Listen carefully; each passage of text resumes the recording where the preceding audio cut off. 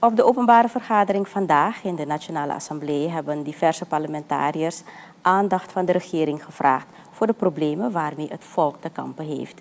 NDP-parlementariër Binder Permeester haalde het criminaliteitsvraagstuk aan. Hij merkte op dat de samenleving dagelijks opgeschrikt wordt door roofovervallen en andere criminele activiteiten. De zaken die via de pers naar buiten gebracht worden, dat is niet weinig. Kinderen zelfs, ja toch? En uh, verkeerscriminaliteit niet alleen, maar ook dat mensen klemgereden worden. De roofmoorden nemen zijn niet afgenomen. Ik vraag dringend aandacht voor de verschillende vormen van criminaliteit, wat hoogtij viert, voorzitter.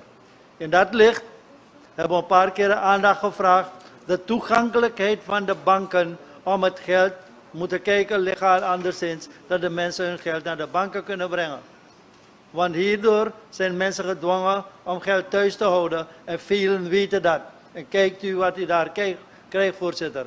Ik vraag nogmaals dringende aandacht voor het criminaliteitsvraagstuk. Voor wat mij betreft is het niet ernstig genoeg dat het aangepakt wordt, voorzitter. Meer manschappen, meer materieel, betere methodiek, dat moet aan de orde zijn, voorzitter. Assis Kumar Gayadin vroeg naar verbetering van de situatie van de resort- en districtsraadsleden en de dignitarissen. Hij vindt dat ze meegenomen moeten worden als de regering de situatie van de ambtenaren verbetert. Um, ook uh, hun situatie te bespreken um, wanneer er wat verbetering zou komen in koopkrachtversterking.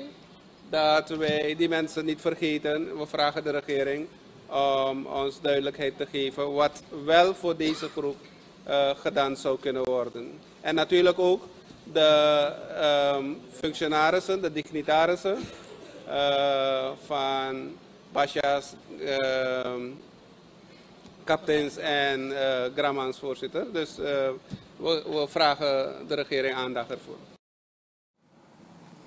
Enkele parlementariërs hebben gevraagd om een vergadering te wijden aan de situatie in het binnenland, waar vele dorpen te kampen hebben met enorme wateroverlast.